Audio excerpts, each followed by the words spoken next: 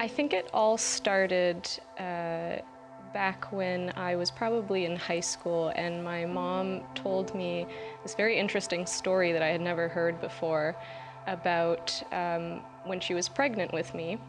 Um, she had gone to get some tests done, and the nurse had told her that there was going to be a very high probability of uh, chromosomal abnormality uh, in me. And so my mother was, you know, she was kind of contemplating this and what it would mean.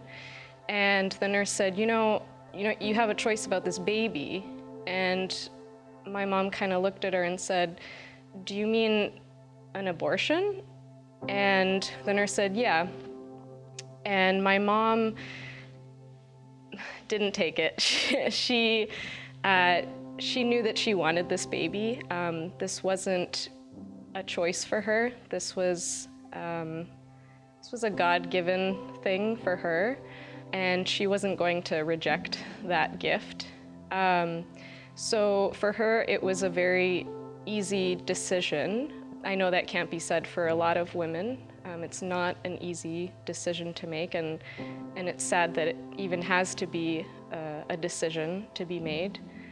When I heard that she had confronted this kind of a thing, um, it made me think, what is it like for women who aren't maybe as lucky or blessed to have such a, foundation in faith, who don't have um, role models, uh, other female role models to look up to and say, um, I can do this. Uh, I, I don't have to make the choice of having an abortion.